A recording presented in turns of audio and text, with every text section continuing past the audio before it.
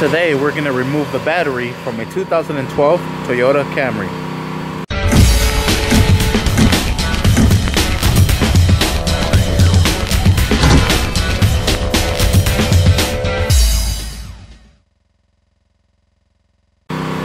Alright, the tools that you're going to be needing is going to be a 10 millimeter socket or a 10 millimeter wrench.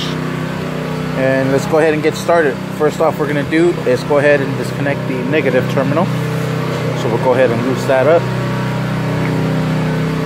And disconnect the negative terminal.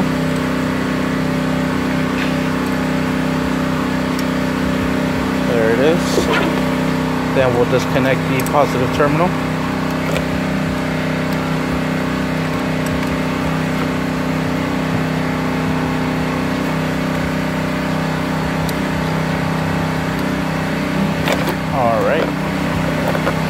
Then we have two clamps for our battery clamp.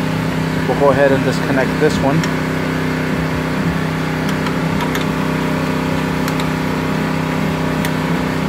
Uh, it's a lot easier if you have a socket, but 10 millimeter sockets love to get lost around here.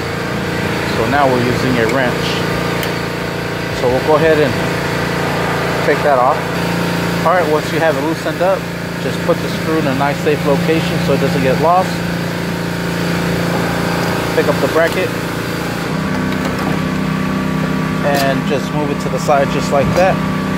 And out comes the battery. Sweet.